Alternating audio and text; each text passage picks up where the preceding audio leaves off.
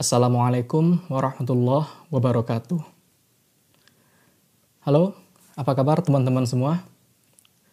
Perkenalkan, nama saya Vino Trimulia, biasa dipanggil Vino. Saya adalah seorang konten kreator, seorang fotografer, dan juga seorang filmmaker.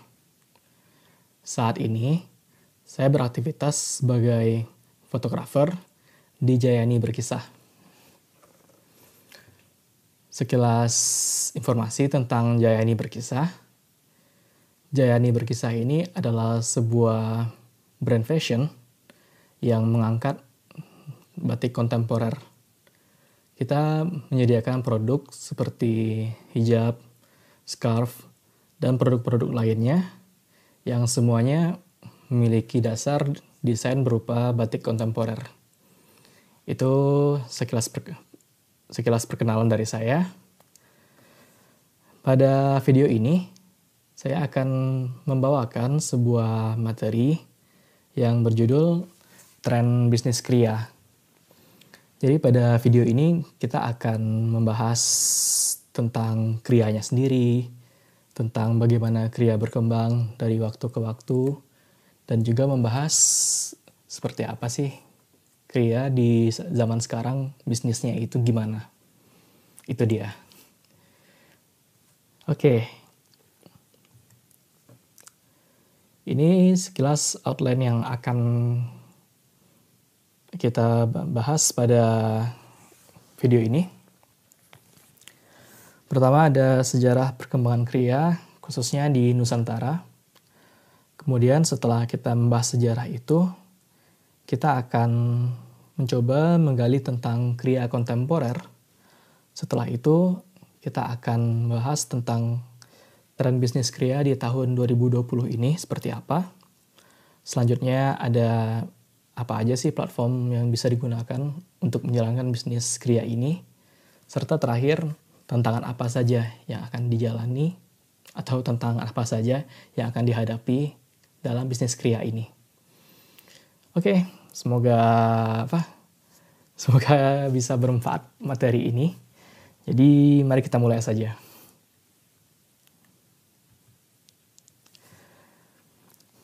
Pertama, karena modul ini, karena video ini adalah tentang tren, tren kria, tren bisnisnya, maka tentu saja salah satu apa ya acuan awal atau pijakan awal kita untuk membahas itu dimulai dari sejarahnya dulu, terutama sejarah perkembangan kria ini di Nusantara atau di wilayah yang saat ini kita kenal dengan Indonesia. Prinsipnya itu, kriya berkembang karena budaya. Jadi, kriya itu adalah cerminan dari bagaimana masyarakat yang hidup pada saat kriya itu dibuat, mulai dari cerminan ekonomi, cerminan sosialnya, kemudian cerminan ya banyaklah cerminan berbagai aspek kehidupan lainnya juga misalnya adat istiadat, seni, dan lain sebagainya. Semua itulah yang akan membuat kria pada masa itu terbentuk identitasnya. Oke. Jadi pada zaman dahulu itu, pada zaman masih kerajaan kerajaan-kerajaan ya, dan dulu juga belum ada nama Indonesia. Jadi daerah itu wilayah kita sekarang dikenal dengan nama Nusantara. Umumnya karena di zaman kerajaan itu ada dua kelompok, setidaknya ada dua kelompok masyarakat yang hidup. Pertama adalah kelompok masyarakat yang beraktivitas, yang hidup di wilayah sekitar kerajaan, di dalam kerajaannya sendiri atau sejenisnya itu bisa juga kekeratonan atau kesultanan. Orang-orang ini bisa jadi orang memang orang ningratnya atau para pegawai yang bekerja di wilayah itu atau para para orang-orang terpandang lainnya yang mempunyai akses ke dalam kerajaan itu. Orang-orang ini yang hidup dan beraktivitas di kalangan kerajaan itu, kita mengenal mereka menganut tradisi-tradisi yang disebut dengan tradisi agung atau tradisi besar. Dan satu lagi, di luar lingkungan kerajaan, itu hidup masyarakat-masyarakat lainnya. Atau biasa kita sebut dengan masyarakat jelata, rakyat jelata. Mereka ini petani, pedagang, buruh, dan lain sebagainya. Intinya mereka-mereka yang tidak mempunyai akses langsung ke dalam lingkungan kerajaan dan secara sosial memang mereka dipandang lebih lebih, kecil dari orang-orang yang ada di dalam kerajaan. Mereka-mereka ini disebut orang-orang yang menganut tradisi alit atau tradisi kecil. Kita akan membahas dulu dua tradisi ini, karena pada zaman kerajaan Nusantara dulu, dua tradisi inilah yang akan membentuk dua budaya yang sangat berbeda, dan itu juga yang akan mempengaruhi bagaimana kriya dan hal-hal lainnya berkembang di masing-masing budaya tersebut. Yuk. Pertama, tradisi agung dulu ya. Tadi sebagaimana udah dibilang di awal, tradisi agung ini adalah tradisi yang berkembang di lingkungan kerajaan. Karena status kerajaan yang dinilai tinggi, yang dinilai begitu apa namanya ya begitu terpandang maka apa pun yang ada di tradisi agung ini akan dinilai mewah dan tentunya eksklusif karena tidak semua orang bisa mendapatkan akses atau bisa beraktivitas di, di dalam tradisi ini. Kemudian juga ini terutama pada kerajaan-kerajaan Hindu dan kerajaan Buddha para raja itu dianggap sebagai titisan atau jelmaan dari dewa-dewa mereka. Jadi ketika seseorang atau ketika siapa pun di dalam lingkungan kerajaan memberikan sesuatu kepada raja, maka secara apa namanya? secara kepercayaan mereka itu mereka menganggap mereka sedang memberikan persembahan kepada dewa mereka. Jadi ada nilai spiritual, ada nilai religius yang berkembang di dalam tradisi agung ini. Makanya karena dianggap memberikan sesuatu kepada entitas yang dianggap lebih tinggi, tentunya kualitas dari persembahan yang diberikan juga harus dibuat setinggi mungkin. Mereka tidak hanya menekankan kepada fungsi, tapi yang paling ditekankan terutama itu adalah estetikanya, keindahannya, dan juga filosofi-filosofi dari barang-barang yang dibuat. Bicara soal kriya pada tradisi agung ini, orang-orang yang bisa orang-orang kriawan yang bisa masuk ke tradisi agung ini hanya orang-orang terpilih saja. Tidak bisa sembarang orang yang bisa membuat sesuatu untuk raja membuat sesuatu untuk kerajaan. Itu tidak bisa. Makanya karena mereka orang-orang yang bekerja di kriya ini yang bisa masuk ke tradisi agung itu dinilai cukup terpandang juga. Biasanya mereka juga mendapatkan sebutan khusus. Misalnya sebutannya adalah empu kriya atau kriawan pokoknya ada titel yang lumayan apa lumayan wah seperti itu Contoh kriya-kriya yang berkembang di tradisi agung ini bisa seperti singgasana raja atau kursi-kursi yang ada di keraton atau senjata-senjata seperti kris, ukiran, ornamen-ornamen lainnya. Banyaklah macamnya. Bisa juga ini contohnya di ilustrasi ini ada kereta apa namanya itu? Bukan kereta ya. Lupa juga namanya ini ini ada istilahnya. Pokoknya yang untuk kendaraan para raja ini. Itu dia tradisi agung. Berikutnya itu kita akan membahas tradisi yang satu lagi yang merupakan kontras dari tradisi agung tadi, yakni tradisi alit atau tradisi kecil. Ini adalah tradisi yang berkembang di kalangan rakyat jelata, berkembang di kalangan wong cilik, rakyat kecil. Beda dengan tradisi agung tadi, di mana uh, kria yang dibuat atau barang-barang yang dibuat itu memiliki arti filosofis, memiliki nilai spiritualitas. Pada tradisi alit ini, kria yang dihasilkan justru lebih ditekankan pada fungsionalnya untuk memenuhi kebutuhan sehari-hari. Misalnya gerabah, keranjang, cangkul, kursi-kursi untuk di rumah, dan macam-macam lah. Intinya untuk benar-benar menjalankan kehidupan sehari-harinya. Makanya karena dianggap sesuatu yang biasa, memang untuk memenuhi kebutuhan sehari-hari, nilainya dianggap lebih sederhana dari yang ada di kerajaan. Dan memang desainnya juga biasanya dibikin apa adanya. Tidak terlalu menekankan estetika, tidak terlalu menekankan keindahan seninya lebih menekankan bagaimana benda ini, bagaimana barang-barang ini bisa difungsikan.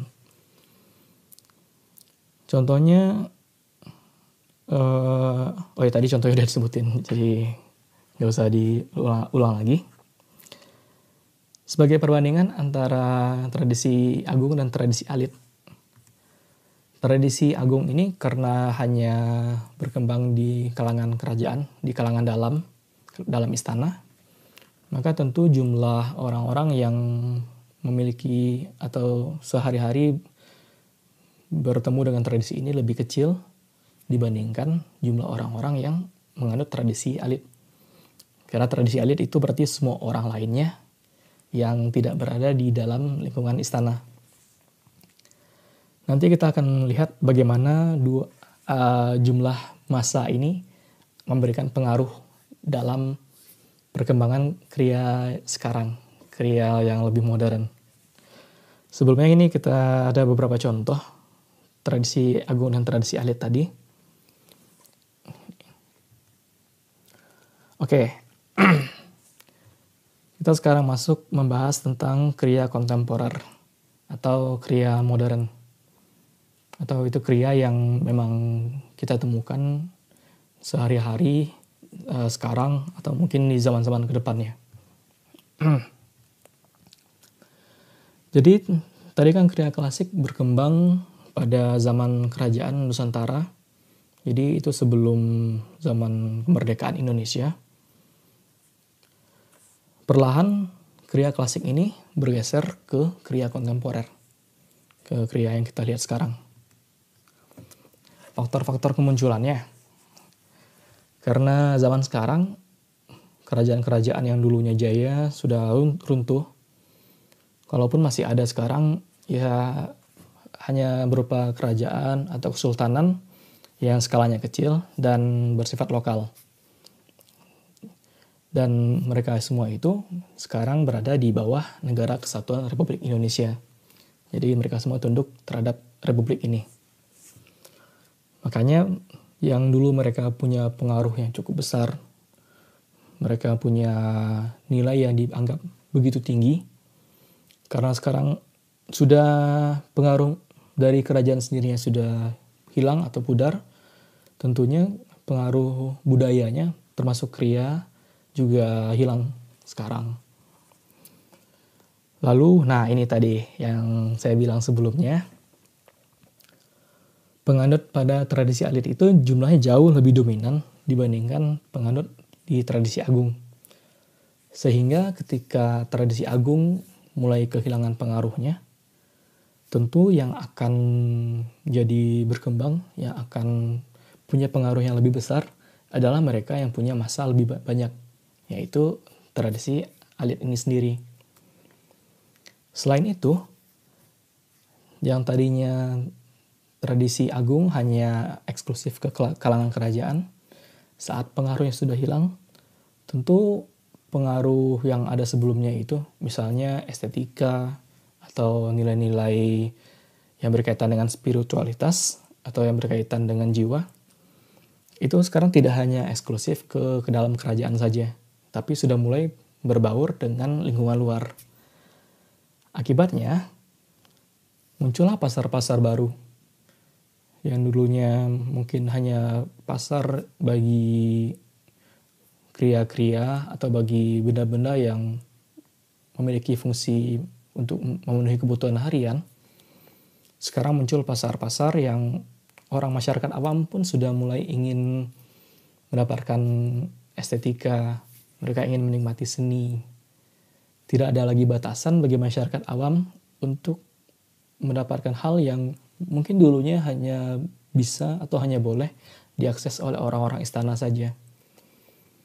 Sekarang semua orang bebas menjalankan ekonominya, baik dari masyarakat yang merupakan konsumen atau pembeli dari kria ini, maupun kepada orang-orang yang membuat kria sendiri, yaitu para pengrajin atau para kriawan tadi. Semuanya sekarang sudah bebas. Mereka sudah hidup dalam tatanan pasar yang uh, apa namanya yang lebih inklusif. Dan berhubung dulunya Nusantara itu terdiri dari beberapa kerajaan, kemudian disatukan dalam sebuah republik. Orang-orang yang berada pada suatu wilayah tentunya tidak ingin budaya mereka atau hasil yang mereka buat itu hanya berkembang di wilayah di wilayahnya saja. Mereka tentu ingin wilayah lain juga mengetahui apa yang mereka buat, apa yang mereka jalani sehari-hari. Untuk itulah tingginya keinginan dari setiap daerah untuk mengangkat kearifan lokalnya masing-masing atau biasa disebut dengan lokal genius. Di sini tidak hanya dari tidak hanya dari masyarakat itu untuk mempromosikan, tetapi ada timbal balik dari masyarakat di tempat lain yang juga ingin merasakan bagaimana budaya dari masyarakat di tempat yang tidak sama dengan dia tinggal. Itu dia, makanya muncul jenis kria baru yang bermuara dari yang awalnya tradisi sangat berbeda, tradisi agung dan tradisi alit, semuanya sekarang melebur jadi satu. Dan itulah tradisi kontemporer atau apa namanya yang lebih modern.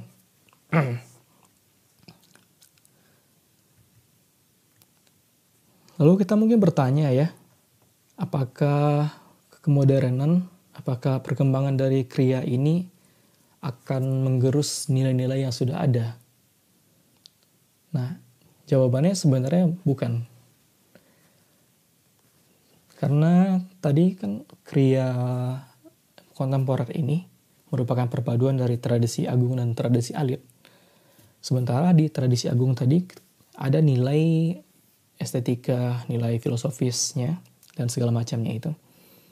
Kriya kontemporer tetap memiliki nafas dari kriya yang di, dari tradisi agung tadi nilai-nilai budaya, nilai-nilai filosofi yang ada pada kriya tetap akan dipertahankan.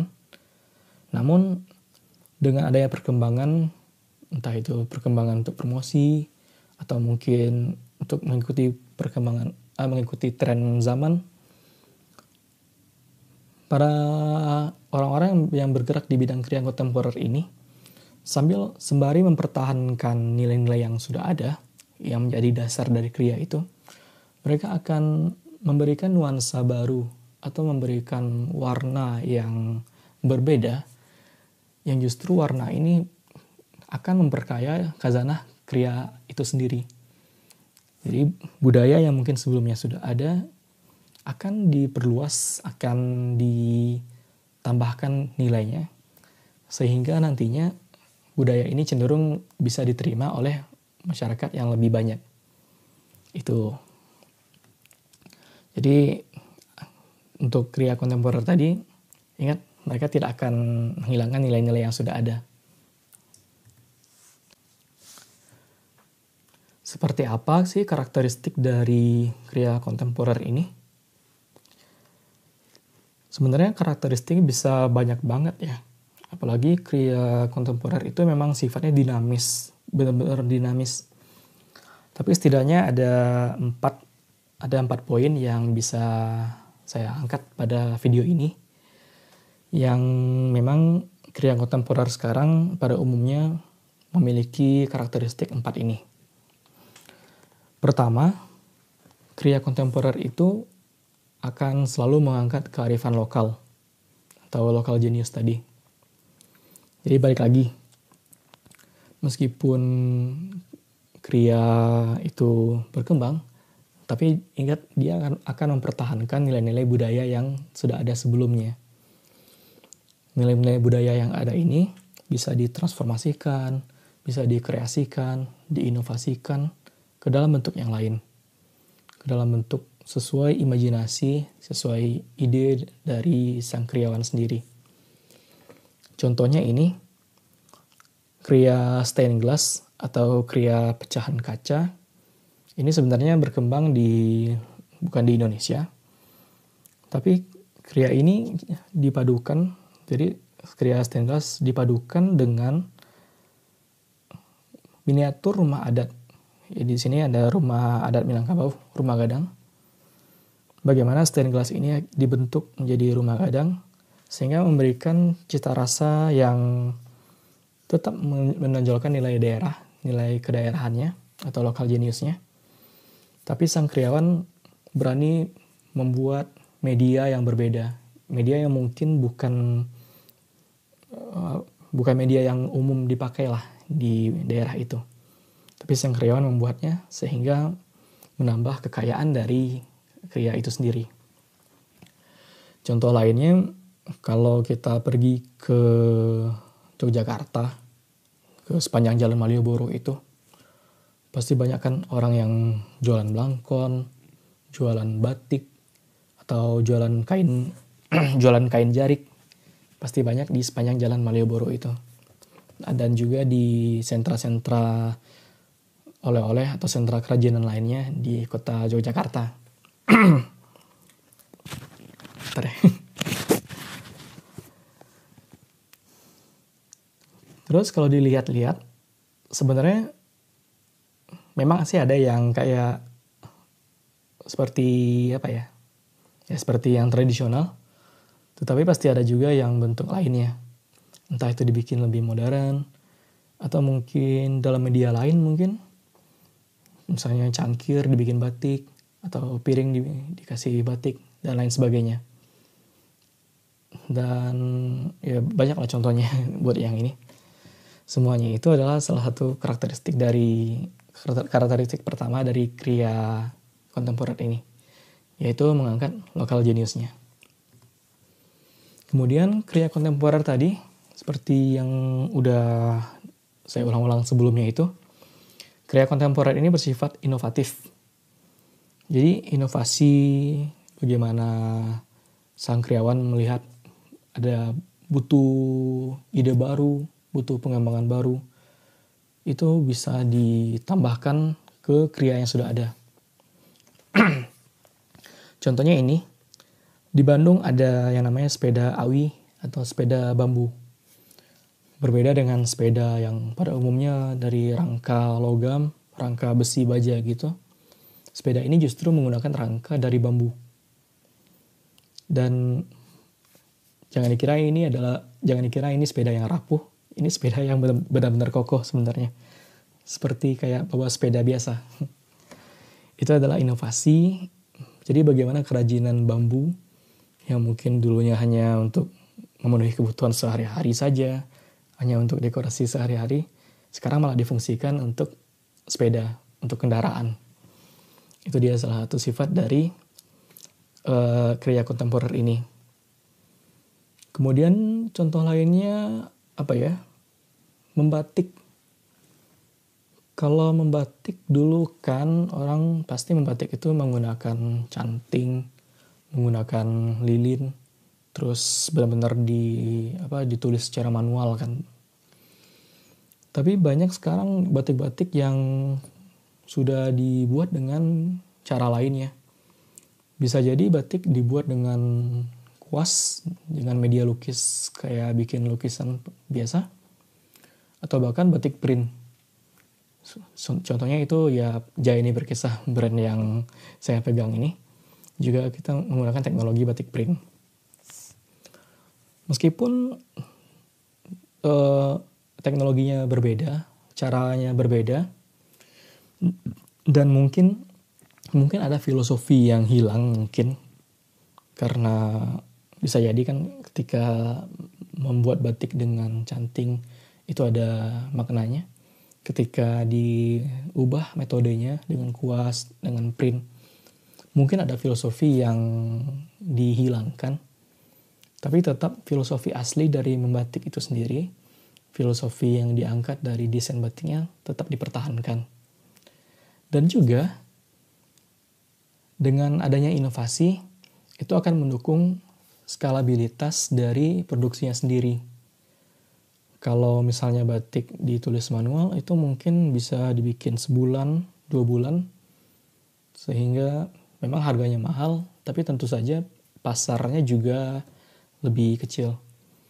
Berbeda dengan batik yang mungkin di print, tentunya karena di print itu jadinya harganya jadi lebih murah memang, tapi karena murah dia akan menyasar pasar yang jauh lebih besar lagi. Jadi skala industrinya bisa jadi lebih besar. Jadi meskipun ada filosofi yang mungkin dikorbankan di sini, ada nilai yang dikorbankan, tapi nilai dasar dari batiknya sendiri tetap ada dan dengan adanya pasar yang lebih luas, ada market yang lebih beragam, nilai-nilai yang tadinya mungkin terbatas ke beberapa orang tertentu, sekarang bisa diaplikasikan atau bisa didistribusikan ke lebih banyak orang. Itu dia.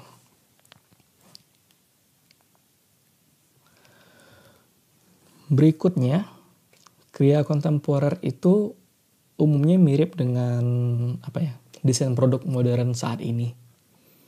Jadi desain produk sekarang, kriya sekarang, meskipun dibikin dengan seaneh-anehnya, seliar-liarnya imajinasi dari sang pembuat kriya itu, tapi apabila kriya ini memang ditujukan untuk sesuatu yang fungsional, maka nilai dari kemudahan penggunaan, nilai dari apa itu namanya?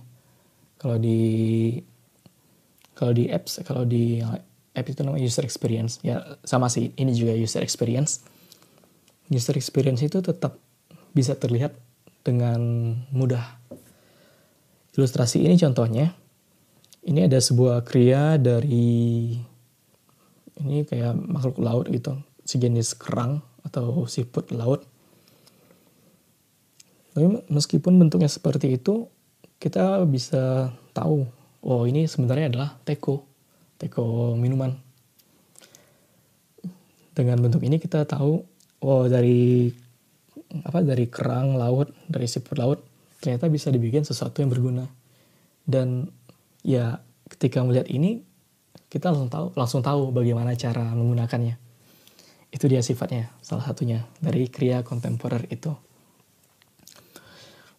Dan yang terakhir sifatnya itu adalah adaptif. Ini sebenarnya berkaitan erat dengan sifat inovatif tadi. Tapi eh, penjelasannya adalah misalnya pada brand Jayani berkisah selain menggunakan motif-motif yang umum pada batik ya, misalnya motif di alam seperti tumbuhan atau hewan, kita juga memadukan unsur-unsur popular culture lainnya pada batik atau pada tekstil yang kita buat. Kita memadukan misalnya ada desain batik kita yang mem, apa namanya yang punya desain desain Pokemon Ball, Pokeball di dalamnya.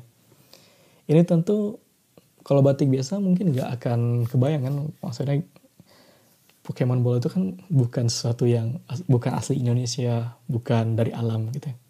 tapi dengan kontemporer kita bisa memadukan nilai-nilai tersebut. Contoh lainnya kita pasti banyak lihat batik-batik dengan logo klub sepak bola terus batik apa lagi ya? Batik uh, ini kalau lihat mungkin dari apa selama pandemi ini batik yang dipakai sama juru bicara juru bicara dari pemerintah gugus tugas itu batik dengan motif virus. Banyaklah contohnya. Intinya ya apa namanya bisa diadaptasi. Dan nggak cuma batik sebenarnya. Apalagi ya contohnya mungkin yang bisa digunakan di sini. Hmm, oh ya misalnya pernah lihat mungkin dari apa tas yang dibuat dari plastik-plastik bekas apa sachet minuman. Itu kan juga merupakan adaptasi ya sebenarnya. Yang dulunya tas itu dibuat dari kulit atau dari kain sekarang justru dibuat dari plastik. Ini salah satu contoh lainnya dari sifat adaptif si kriya kontemporer ini selanjutnya kita akan bahas bagaimana tren yang berkembang pada tahun 2020 ini khususnya untuk bisnis kriya yang pertama, tren yang sebenarnya sudah berkembang dari beberapa tahun terakhir, yaitu tren ramah lingkungan atau yang eco-friendly.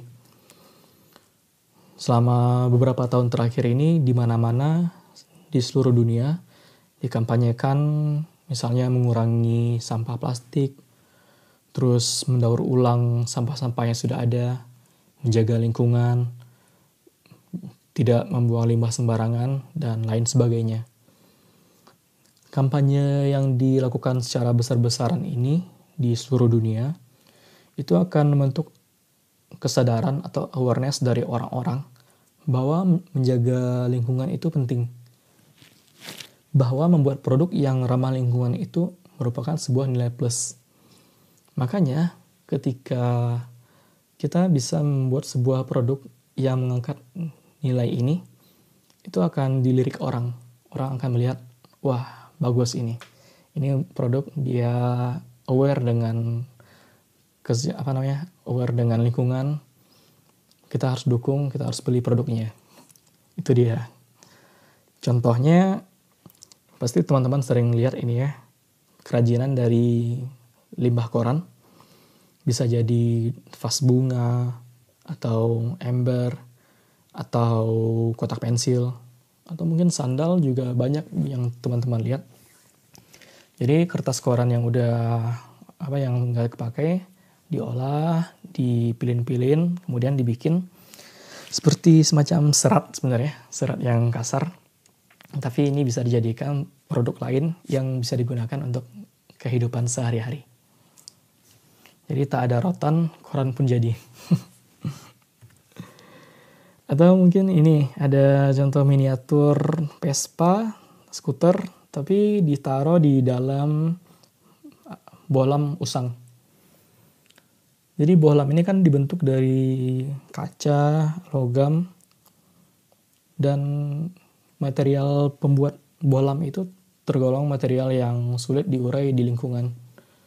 Sulit diurai sehingga kalau misalnya dibuang sembarangan itu justru akan mencemari lingkungan dengan kreativitas para kriawan, sampah yang tadinya berbahaya untuk dibuang justru dimanfaatkan agar bisa kembali memiliki nilai guna, agar kembali memiliki nilai ekonomi, dan tentunya bisa merawat atau menjaga lingkungan kita juga.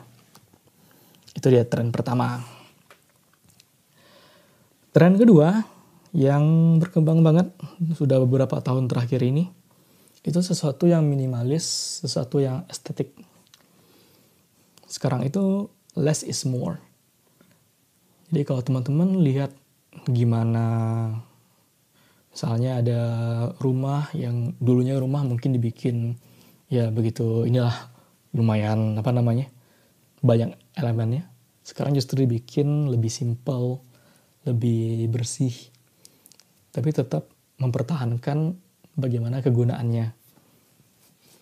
Juga misalnya desain-desain website, semakin bersih desain sebuah website, itu justru akan bikin si pengunjungnya lebih nyaman. Itu dia. Contohnya banyak ini, misalnya ada Dreamcatcher. Dreamcatcher itu kan sesuatu yang kayak simple, tapi dinilai estetik bagi orang-orang atau ini apa nah itu namanya grid wire gantungan grid gini dari kawat bisa dipakai untuk menggantung foto-foto polaroid bisa dipakai untuk naruh aksesoris lainnya. Ini contohnya ini contoh-contoh yang biasa dipakai orang pada apa ya kalau teman-teman sering buka Twitter atau TikTok pasti itu ada desain kamar minimalis desain kamar yang artsy gitu. Ini adalah tren yang berkembang pada tahun 2020 ini. Maka barang-barang kria yang dimunculkan atau yang dibutuhkan di, dal di dalam desain yang kesannya minimalis ini pasti memiliki sekarang pasti penawaran atau permintaannya sekarang tinggi banget. Jadi bisa dijadikan sebagai sarana untuk untuk apa namanya bisnis kria pada 2020 ini. Contoh lainnya juga pada pakaian. Ini batik lagi, lagi-lagi batik kalau dulu mungkin batik itu benar-benar satu kemeja, satu kemeja misalnya itu full motif batiknya. Sekarang mungkin hanya di satu sisi saja atau hanya di sakunya saja. Kesannya minimalis, batiknya dapat, tapi kesan cleannya, kesan bersihnya, kesan bersih dari desainnya juga dapat. Dan orang-orang sekarang menyukai itu. Itu dia tren yang bisa teman-teman pilih yang bisa dijadikan apa namanya acuan untuk bagaimana sih bikin kria di 2020 ini entah itu bikin produknya atau bisnisnya oke itu dia dan terakhir ya lagi-lagi si local genius ini sih nggak akan lekang di makan zaman kria yang bersifat lokal selagi masih apa ya selagi traveling masih terus berkembang. Mudah-mudahan pandemi ini segera berakhir, jadi kita bisa traveling lagi, bisa pariwisata lagi. Jadi selama pariwisata berkembang, yang namanya hal-hal yang bersifat lokal, yang bersifat hmm, kedaerahan itu pasti akan tetap naik. Orang-orang ketika jalan-jalan pasti pengen beli souvenir khas daerah itu. Orang-orang ketika mengadakan sebuah event, mengadakan sebuah acara, terutama yang bersifat kebudayaan, pasti akan menggunakan barang-barang yang bersifat uh, lokal ini. Atau juga bisa bikin kayak bazar yang menjual barang-barang ini. Jadi ini tren yang nggak akan lekang dimakan zaman. Contohnya ini songket silungkang dari Sumatera Barat, terus ada topeng-topeng dari Papua, atau di luar negeri juga, ini kalau tahu teman-teman, ini ada boneka namanya Matryoshka. Jadi ini boneka yang besar bisa dibuka, masukin boneka yang lebih kecil, buka lagi, masukin lagi boneka yang lebih kecil. Jadi kayak keluarga di dalam saat kalau dijual itu udah hanya satu boneka besar, tapi di dalamnya banyak boneka. Ini dari Rusia, bercorak lokal Rusia. Dan ini trennya pasti akan selalu ada itu dia contoh-contohnya untuk karya-karya yang ber apa namanya untuk tren-tren kria yang akan yang bisa dipakai pada pada tahun 2020 ini. Berikutnya platformnya apa aja sih atau media untuk bisnis kria itu apa saja? Pertama yang paling mudah baik bagi pembeli maupun bagi penjual itu adalah di sentra-sentra kerajinan yang pasti ada di setiap daerah. Sentra kerajinan ini macam apa ya? Ya marketplace-nya lah. Orang kalau bingung mau nyari oleh-oleh di mana, ya udah langsung aja ke pusat oleh-oleh. Para penjual, para pembuat kria pun ketika sulit rasanya untuk menjual sendiri, butuh media untuk bisa memasarkan hasil mereka, ya udah tinggal ditaruh ke sentra kerajinannya. Itu media pertama yang paling apa yang paling umum lah di, zaman sekarang ini. Kemudian ada pameran-pameran kria ini umumnya dilaksanakan di kota-kota besar atau di tempat-tempat pariwisata ini bertujuan untuk menarik pasar yang lebih besar lagi menarik pasar yang lebih luas dan diharapkan pasar yang lebih apa namanya lebih eksklusif lah, punya nilai beli yang lebih tinggi. Serta juga bagi para kriawan yang mem ingin mempromosikan hasil karya mereka, mereka bisa juga berada di pameran kriya ini. Jadi mereka kalau tadi mungkin di sentra kerajinan hanya sekadar display dan jual, di pameran ini mereka bisa display, jual, mereka bisa menjelaskan juga kepada para pengunjung, mereka bisa bahkan mereka bisa melakukan upselling, menjual produk lainnya selain dari produk yang mereka display pada si di pada pameran itu. Itu dia untuk pameran kria dan tentu saja kalau memungkinkan itu penjualan mandiri. Dengan penjualan mandiri pun tentu saja profit yang diperoleh bisa 100% masuk ke penjual.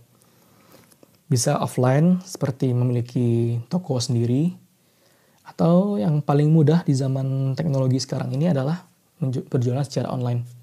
Baik di media sosial ataupun di website-website atau di e-commerce lainnya.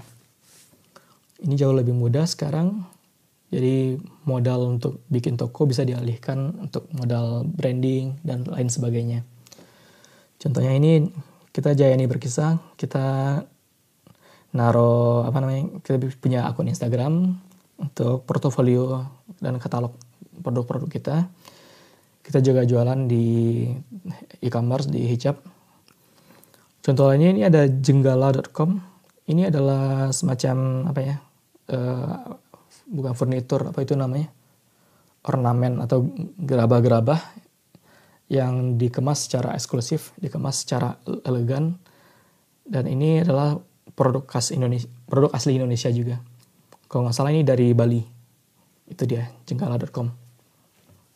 Terakhir kita akan bicarakan apa aja sih tantangan pada bisnis kria, terutama di zaman sekarang ini. Tantangan pertama itu persaingan kria itu benar-benar ketat di zaman sekarang. Semua orang bisa jualan, semua orang bisa apa ya mempromosikan hasil mereka. Jadi persaingan itu benar-benar ketat. Maka kalau misalnya teman-teman punya sebuah brand, punya sebuah produk kria, itu buat bisa besar itu benar-benar harus sabar berjuang, butuh strategi yang tepat, dan ya semacamnya lah.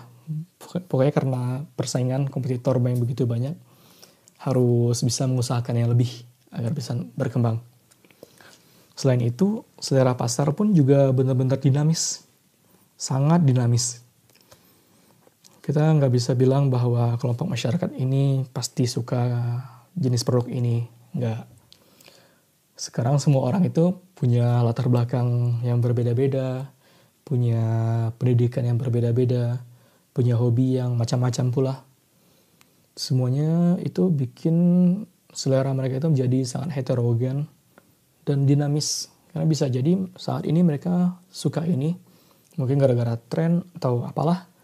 Tapi bisa jadi bulan depan beda lagi. Itu dia. Selera pasar benar-benar dinamis. Kemudian Ya ini khususnya bagi para kriawan kecil. Kendala modal pastinya. Ya namanya produksi kria itu memang butuh modal. Dan bisa jadi modal yang dibutuhkan itu bukan apa, bukan jumlah yang kecil. Ini berpengaruh banget misalnya ketika apa ya contohnya. Ada orderan misalnya, orderan yang cukup banyak, cukup besar kalau bagi para kriawan kecil, mereka akan cenderung lebih sulit untuk memenuhi orderan yang di atas kapasitas mereka. Misalnya mereka umumnya hanya produksi 100 per hari. Tapi orderan ini misalnya datang 50 ribu. Jadi kan modal dikit, terus juga buat menggaji karyawan atau mencari karyawan juga lebih susah. Berbeda mungkin dengan perusahaan-perusahaan kria yang udah besar, yang memang punya karyawan banyak, yang punya modal besar, atau mereka bisa mencari channel yang lebih besar lagi untuk membantu produksi mereka. mereka cenderung bisa mendapatkan orderan dengan jumlahnya lebih besar. Sebenarnya ini nggak cuma Kria sih, hampir semua bisnis pasti seperti ini. Jadi tantangannya memang modal bisa jadi sebuah tantangan. Dan yang terakhir itu kemajuan teknologi pastinya. Masyarakat sekarang udah makin cerdas. Masyarakat eh, para konsumen sekarang udah mengerti apa namanya, udah tahu review, udah tahu material-material, udah paham apa perbedaan antara kria satu dan kria yang lainnya. Terus mereka juga bisa membandingkan harga sekarang karena semuanya semua bisa diakses secara online. Ini jadi tantangan juga gimana seorang kriawan itu bisa membaca pasar dengan tepat, bisa membaca konsumen, bisa tahu strategi apa yang seharusnya dilakukan pada bisnis mereka. Itu dia tantangan-tantangannya. Oke, itu materi yang bisa saya sampaikan. Semoga bermanfaat. Apabila ada apabila ada yang kurang di penyampaiannya, saya mohon maaf. Segala kesalahan ya itu datang dari saya saya sendiri sebagai manusia biasa. Terima kasih banyak sudah menyaksikan video ini. Terima kasih sudah menyimak materi ini. Jika butuh kontak saya, silakan melalui email, Instagram, atau Twitter ini. Akhir kata, Assalamualaikum warahmatullahi wabarakatuh.